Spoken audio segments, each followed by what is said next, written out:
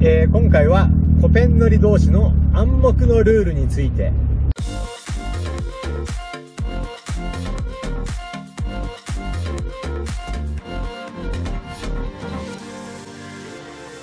えっと、僕が、えー、キャンピングカーを購入した78年前ぐらいの時に、えー、キャンピングカーの情報をこうネットとか雑誌とかで集めてる時に、けたのが、まあ、キャンピングカー同士が、え、すれ違った時にこう手を挙げて挨拶をするっていうなんか暗黙のルールがあるっていう風に見ました。まあ、ちょっと特殊車両同士っていうことで、まあ、そういうなんか仲間感みたいなのから、えー、そういうことをやるだろうなとは思ってたんですけど、まあ、実際に購入してみて、まあ、すれ違った時に、まあ、最初はもうどうしようかなと思って、まあ、知らない人に手を挙げて無視されても嫌だしでもやんなきゃ失礼なのかなとか思って結構、えー、まあ気にしていました。キャンピングカー同士がすれ違って手を挙げて手を上げ返してくれる人もいれば、まあ、向こうから先に手を挙げてくれる方もいれば、まあ、無視をする人もいるという状態でした。で大体あのー、僕もシャイなんで自分から手を挙げるっていうことあんまりしたくないんで大体こう助手席に友達とかえ知人が乗ってたら、今日もキャンピングカー同士って、すれ違う時に手を挙げる暗黙のルールがあるんだよっていうのを言っといて、キャンピングカーが来たらちょっと手挙げてねっつって、友達に手挙げさせて、それで、まあ無視、それだったら無視されても、まあ別に僕はショックは受けないので、っていう風にやっていました。で、まあその時の比率的には、まあ、上げてくれる人の方が全然、あの、多かったと思います。7割、8割ぐらいの人がそのキャンピングカーの、えー、暗黙のルールを知っているっていう形だったと思います。で、あれからもう7、8年経ってるので、今はもうそのルールが、暗黙のルールが、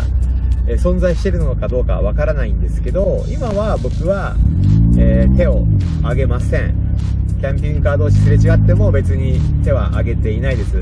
ていうのも、まあ、沖縄県って、あのーまあ、そもそもが、えー、キャンピングカーが少なくって、大体キャンピングカーに乗ってる人って、あの、レンタカーで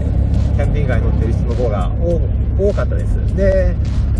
今は、え、コロナでインバウンドの方が入ってきてないんですけど、大体外国人、中国人、韓国人の方がキャンピングカーをレンタルして沖縄県で走ってるっていうので、結局手を挙げても、え、手を挙げられない、無視されるっていう、まあそもそもがそのルールを知らないっていう人が多かったので、まあ、手を挙げるっていうことはもうしなくなりました。まあ、結局こう、例えば見てるのに手挙げないと、向こうが手挙げ挙げた時に失礼になっちゃうので、本当見ないふりをします。キャンピングカー同士がすれ違う時はもう隣にいる子供とこうちょっとこう話してるふりして、そもそももう見てませんみたいな感じで手を挙げていません。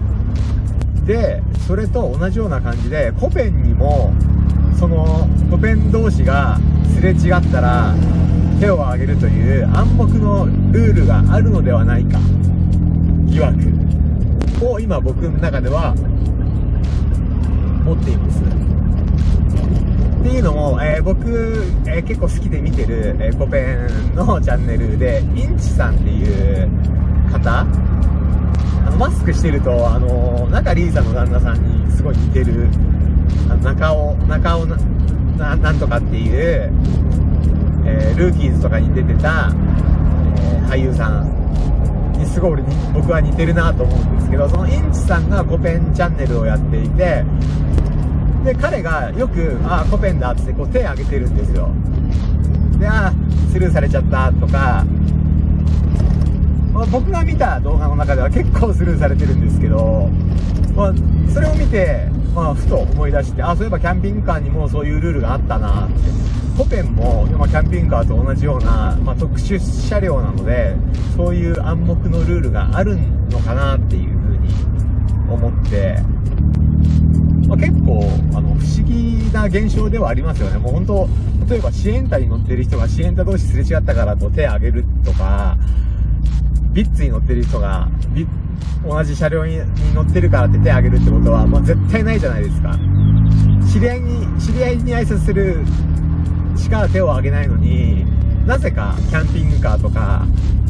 キャンピングカーはそう手を挙げるっていう、えー、暗黙のルールが存在していました。で、まあ、コペンも、普通の車ではあるんですけど、まあ、やっぱりオープンカー、軽のオープンカーで特殊車両っていうことで、そのキャンピングカーに通じるものがあって、仲間意識が強い。ツーリングとかよく県外の方はコペンオフって言って、コペンで同じ車両でツーリングとかもされてるのもよく見かけます。それ、これも、コペンならではですよね。支援隊の人が集まってツーリングするとかってもあり、絶対ないじゃないですか。本当コペンあるあるだと思うんですけど、で、そのコペンで、えー、コペンがすれ違った時に手を挙げるっていうことが、暗黙のルールとして、えー、まず存在しているのかどうかっていうのを、まあ、ちょっと知ってる方がいればコメントで教えていただければと思います。もしかしたら、そのインチさんが、まあ、勝手にやってるだけなのかもしれないですし、まあ、インチさんもどっかで、なんかそういうルールがあるっていうのを知って、やってるのかもしれないですし、ちょっとそこがまずわからない。なんか僕は書籍とかで、こう、キャンピングカーの方は、えー見たんですけど、そういうルールがあるっていうのを見たんですけど、えー、コペンの方では、えー、見たことがないので、どこでも。ちょっとそこを教えていただければと思います。そして、えー、皆さん、このチャンネルをご覧になっている方で、コペン乗りの方が、その、えー、コペン同士がすれ違ったら、手を挙げるっていう暗黙のルールをやられてるのかどうかっていうのも、えー、コメントで教えていただければと思います。ちなみに僕なんですけど、僕はやっていません。っていうのも、キャンピングカーの時は、向こうからこう手を挙げてくれるっていうシーンは結構多かったんですけど、沖縄県でコペンで、えー、は、向こうから上げるっていうことを一度もされたことがないので、僕がやったなんか、なんか気持ち悪いとか思われたら、え、何あの人？みたいな。え、ななんで手挙げてるの気持ち悪いみたいな風に思われる、まあ、年齢にはなってしまっているので、まあ、僕から手を挙げるっていうことはできないんですけど、まあ、そういう、えー、コペンにもそういうルールがあるのかどうかっていうのを、えー、コメントで教えていただければなと思います。よろしくお願いします。